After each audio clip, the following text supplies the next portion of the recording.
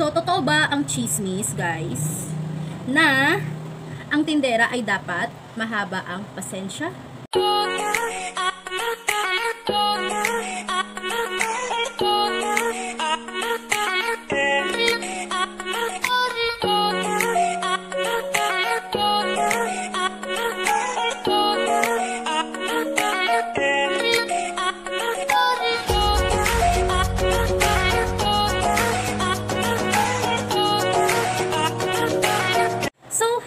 And welcome to my channel.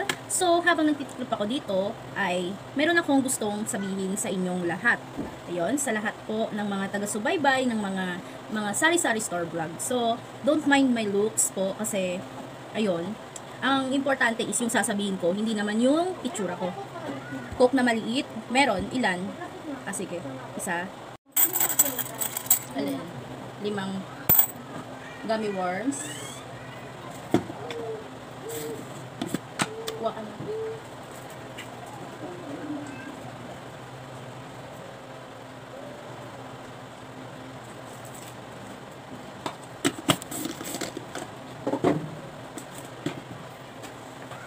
So, ayun, as I've said, may gusto akong sabihin sa ating lahat, ayun, sa lahat ng mga tagapanood ng sari-sari store or sa mga nangangarap maging sari-sari store owner or ah, sa mga nanonood ng sari-sari store vlog pero wala silang business, ah, sila yung customer yon na sooner baka gusto din nilang mag-sari-sari store ah, business, di ba? Or any kind of business na gusto nilang pasukin is okay naman.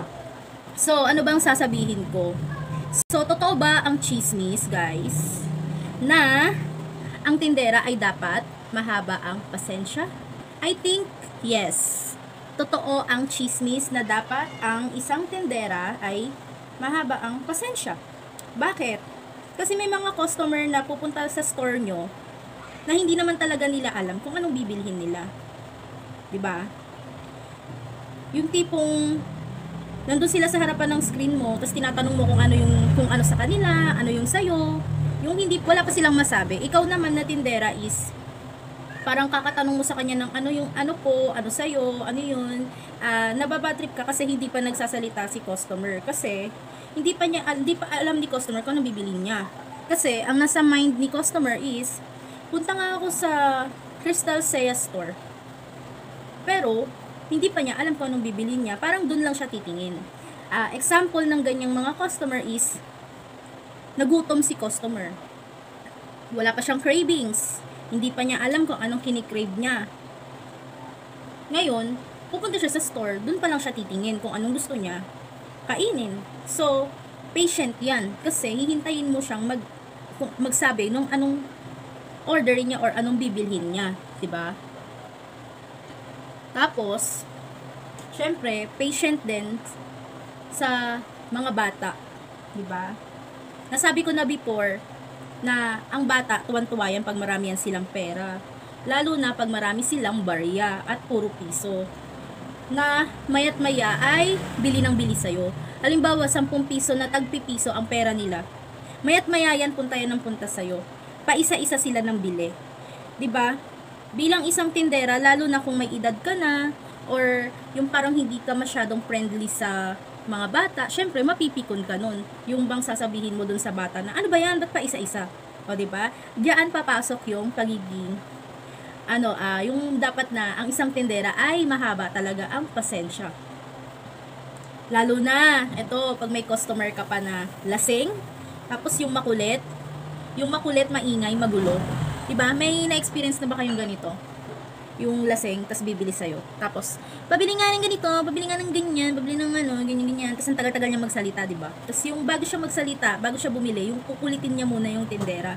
Yung, andyan pa yung mga aasar yan, andyan yung talagang mangungulit niyan. Tapos, e-eksena pa ng lalo na yung mga mangungutang, yung wala nang pang-inom, pero dahil sa bitin sila, gusto nilang minum pa, is kukulitin ka nilang mangutang. Ikaw naman si tindera, talagang iikli ang pasensya mo sa kakasabi ng, ay, hindi ako nagpapautang, ay, hindi ako nagpapautang ng bisyo, ganyan, ganyan. Tapos, hindi kanya maintindihan kasi lasing siya. O, ba So, totoo ba ang chismis na ang tindera ay dapat mahaba ang pasensya? O, pero, alam nyo rin ba guys, na si customer ay mahaba din dapat ang pasensya niyan. Alam nyo ba guys, na ang si customer minsan ay mahaba din ang pasensya niyan sa ating mga tindera. Bakit?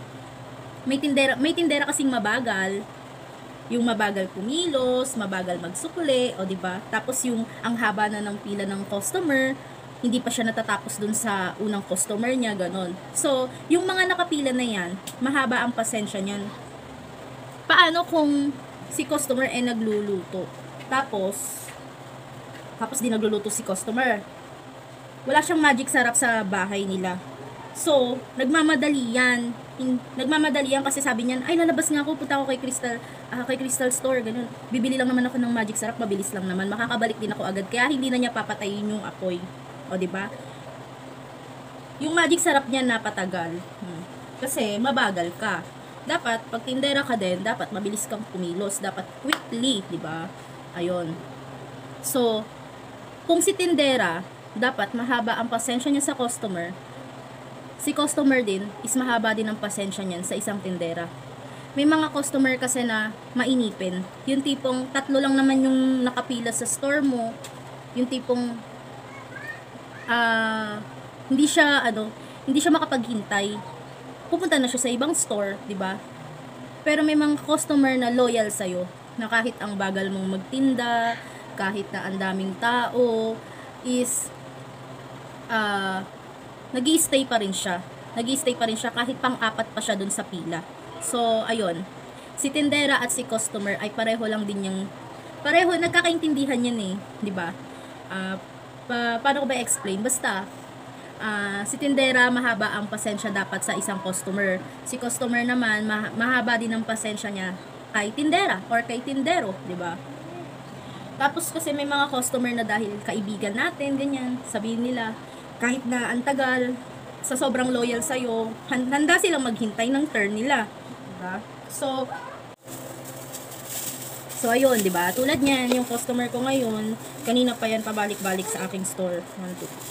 Pero, okay lang kasi customer yan, di ba? 2, 4, 6, 8, Birthday sa taas eh. Ba.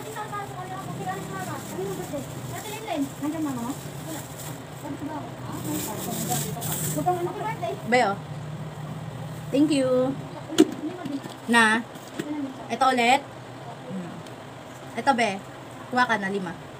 Diba? Sabi ko sa inyo, dapat ang tendera ay mahaba ang pasensya. Hmm. Kanina pa yan siya pabalik-balik sa akin. Alam nyo ba na puno to?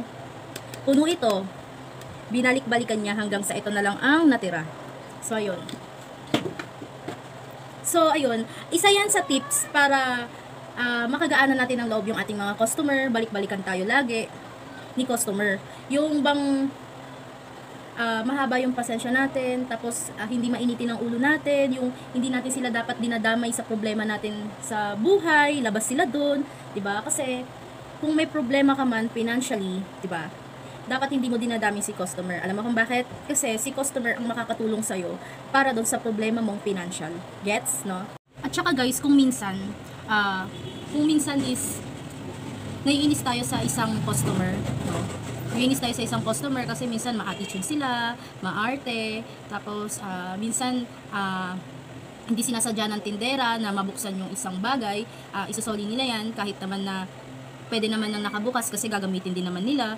Ah, minsan no, kahit minsan naiinis tayo sa ating mga ah, customer, ah, kung may problema tayo sa mga financial, problema sa iniisip natin, ang pagkain natin sa araw-araw, ah, kahit naiinis tayo kay customer, is lagi natin tatandaan, lagi natin iisipin na si customer ay isa sa mga dahilan kung bakit tayo nakakabayad ng bills, nakakabayad ng iba pang pag, dapat bayaran, and si customer is ay isa sa dahilan kung bakit nakakakain tayo ng 3 times a day, no? So, minsan kahit naiinis tayo kay customer is titingnan pa rin natin yung positive vibes, yung good vibes na naibibigay ni customer sa atin. Kasi hindi naman lahat ng customer is nakakainis. Yung ibang customer is nakakaunawa yan, nakakaintindi. Kasi minsan nasa communication yan ng bawat isa.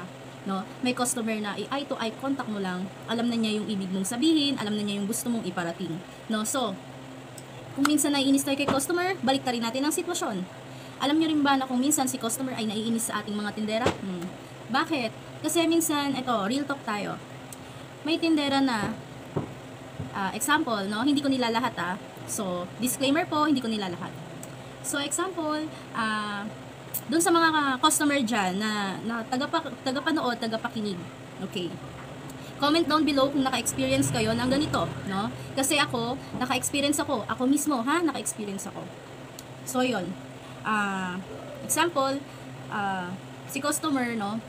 Pumunta siya sa isang store na napakalaki. As in, ang laki ng store, ang lawak, ang kompleto, tapos yung tindera, yung owner is napakadesente, maayos yung pananamit, no? Tapos si customer, simple lang yung pananamit niya. Kasi nakapambahay lang. Kasi bahay lang naman, pupunta lang naman siya ng store, hindi naman mall yung pupuntahan niya. So, ah, ang gusto kong sabihin is, may mga tinderang mapangmata ng customer. Titingnan muna nila yan mula ulo hanggang paa, di ba? Doon pa lang, naiinis na si customer sa'yo, na insulto mo na yung pagkatao ni customer, no? Ah, pangalawa, may tindera na masyadong mapag malaki sa sarili, mapagmataas. Halimbawa, ah, customer, dumating, eh anak yan ng kaaway niya. Diba? Anak yan ng kaaway niya. Pero yung dapat, yung bata, hindi siya involved doon sa, hindi siya dapat involved doon sa away nyo. Nung magulang niya, or nung mama niya, or nung papa niya, kung sino man kaaway mo sa ah, member ng family ng bata. Inangasan mo, di ba? Hmm. Pin, min, ano, ah, tawag dito, binigay sa'yo yung items na binibili niya, tapos hinablot mo, o, di ba? Kung may customer na ma-attitude, may tindera at tindero din na ma-attitude. Kung minsan, kaaway nila, di ba, kaaway nila yung anak, or ah, yung kaibigan is bumili sa'yo, ah, which is ah, kaibigan yun ng kaaway mo, no? Ah, minsan, ah, naaano natin yung personal matters dun sa isang customer, no? Naiaano natin na parang nagiging personal, no? Ah, imbis na customer lang yung turing mo sa kanya, nagiging personal. Pumupunta sa personal matters. So, ayun. Kung ma-attitude si tendera, ay kung ma-attitude si customer at naiinis tayo sa attitude ni customer, minsan balik rin natin, si customer ay naiinis din yan sa isang tendera kasi kung minsan may tenderang ma-attitude, may tenderang pabida, may tenderang mapapel, di ba? So, ano ako doon? so, minsan ma-attitude din akong tendera. Aminin ko yan sa inyo. Minsan, may, ah, lalo na, lalo na, naiinis ako minsan, yung tipong, eto, itong oras na to, ah, walang bumibili, 'di ba? Parang minsan walang bumibili, tahimik. Pero yung tipong oras ng kain, no? Doon sila magdadatingan, oras ng tanghalian, ng hapunan, doon sila magdadatingan. Yung tipong gutom na gutom ka na. Isusubo mo na lang yung kakainin mo. Isusubo mo yung kakainin mo. Andyan na eh, ito na yung kutsara, o ito na yung bibig mo. Tapos bilang pagbilan, ah, 'di ba?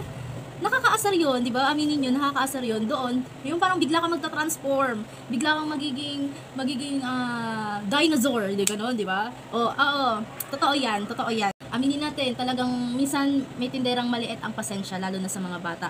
Kasi matagal yan mamili, kasi titingnan niya pa yan lahat, titingnan niya pa lahat yan. Kasi, alam mo, ang bata kasi, ah, pag nakakita yan ng colorful sa tindahan mo, lalo la- iikot yung mata niyan. Iikot, iikot ang mata niyan. Halos susundan mo siya. Kada sunod mo sa kanya tatanungin mo siya, ano sa'yo iho? Ano sa'yo iha? Gusto mo ba neto? Gusto mo ba niyan? Halos lahat hinahawakan niya, di ba?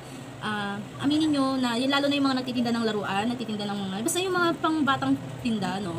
Minsan nakaka, ano, nakakaikli ng pasensya yung mga bata. Lalo na pag makulit, yung tipong makakabasag na, makakasira na, tapos hinahawakan ng bata, dalukot na, tapos di niya pala bibilhin kasi wala pala siyang pera, ayun. So, ayun, ah, tapos sa sa mga nagtitinda ng ano, ng ulam, no? Ulam, luto, no? Umasa ka sa lutong ulam.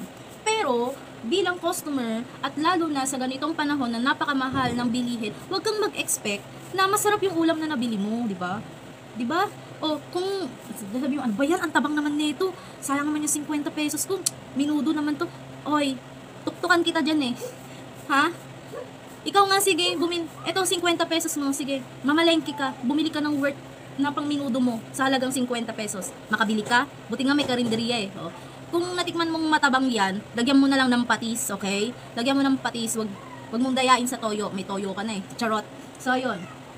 Yun, ang ano ko, no? Kawawa naman yung ating mga ano, mga karinderya owner, mga ayan, mga nagtitinda ng ulam, no?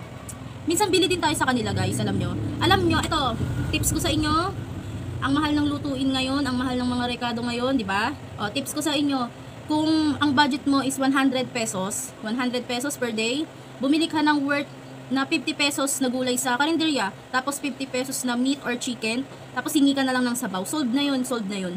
Okay na yun, magsaing ka na lang, no? Kung may bigas ka sa bahay nyo, yun, tips ko sa inyo, no? So, ayun, wala na tayong magagawa, talagang napakamahal na. Ayan pa, isa pa sa mga nagpaano sa customer is yung pagtaas ng mga bilihin, no? Isa pa yan sa talagang umiikli ang pasensya ng mga customer sa sobrang mahal ng bilihin. Wag po- sa mga customer po, no? Wag nating isi-isi sa mga tindera yung pag, pagtaas at pagmahal ng mga presyo ng mga bagay-bagay.